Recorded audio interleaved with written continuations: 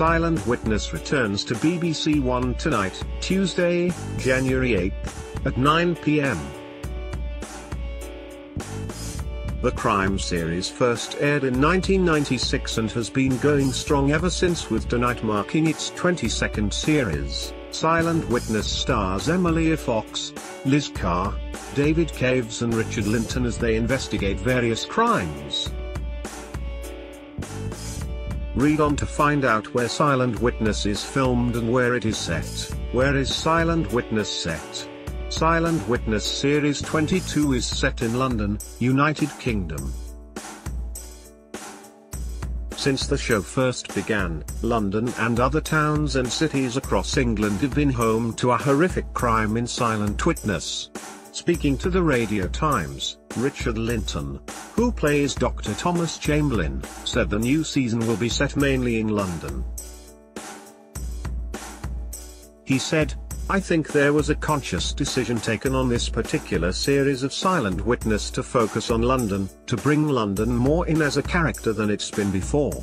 And I think that's coincidental with the advent of drone photography which has allowed you aerial access to cities in a much cheaper and more cost-efficient way than it used to be. Silent Witness start date, cast, trailer.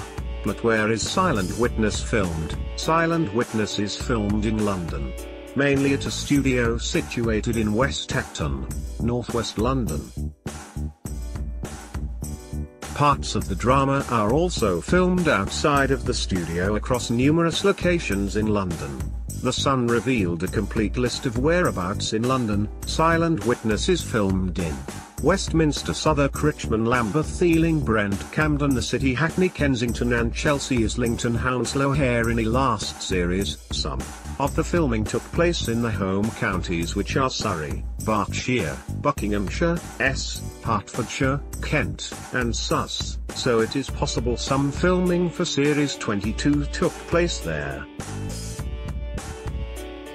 Originally, the series was filmed in Cambridge before moving to London in 1999. In summer 2018, news outlet The Argus reported that filming was taking place in Brighton ahead of season 22. The publication revealed that Gold Coast Jewelers in Brighton was temporarily turned into a tattoo parlor.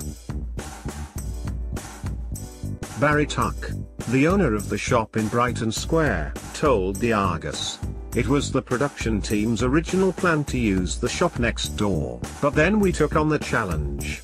It's really good fun and it's great to support the film industry and I hope it attracts a lot of attention.